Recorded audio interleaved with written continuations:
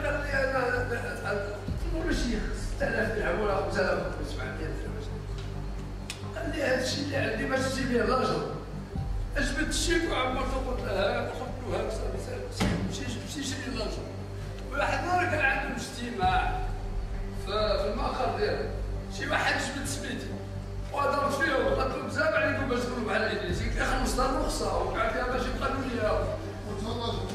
لي كي زعما بكل صراحة إلا ما عملتيش هكذاك عاود الخير راه مزيان.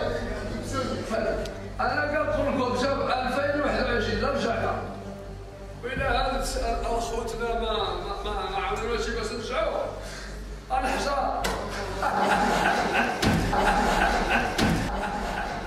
كيبان لكم غير سليمان هنايا. هو اللي كيبان لكم هنايا. سليمان دخل بنى في وسط الملك غابوي ها؟ أنا بعدك عندي قيمة وشرف. بنيت في وسط الملك غابوي هذاك الملك ديالنا ماشي غابوي عندي قيمة وشرف. عندي أنا. عندي ملكيات من الأربعينات.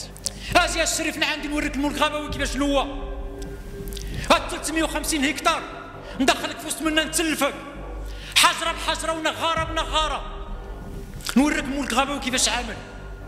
حجرة بحجرة محفوظة عندي هنايا. غرفة الجنايات الابتدائية بمحكمة الاستئناف بطنجة تطوي ملف قضية أحمد الإدريسي رئيس جماعة زناهي السابق وبارون الانتخابات بجهة الشمال ومن معه. الوكيل العام للملك بمحكمة الاستئناف بطنجة تابع الإدريسي بتهم ثقيلة تتعلق بتزوير وثائق رسمية واستعمالها وبتحرير شهادتين تتضمنان معلومات ووقائع غير صحيحة. والمشاركة في البناء بدون رخصة قانونية في منطقة غير قابلة للبناء.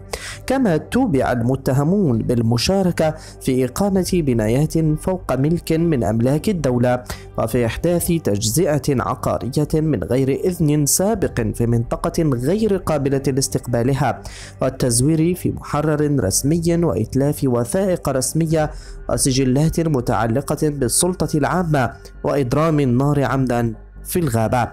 وبعد مناقشة مطولة للملف قضت المحكمة الثلاثاء بالسجن ثمان سنوات في حق المتهم الرئيس رجل الأعمال وبثلاث سنوات حبسا في حق شخص آخر يدعى يونس وسنتين في حق نائب الإدريسي يدعى محمد وشخص آخر يدعى أحمد. قبل أن تصدر حكمها بحبس كل من الإدريسي وشخص يدعى جمال بثمانية أشهر حبسا نافذا وغرمت الهيئة القضائية المتهمين بمائة ألف درهم مع أدائهم تعويضا مدنيا. قدره مائة ألف درهم لفائدة ستة مطالبين بالحق المدني. في المقابل برأت الهيئة القضائية شخصا آخر كان متابعا على ذمة القضية.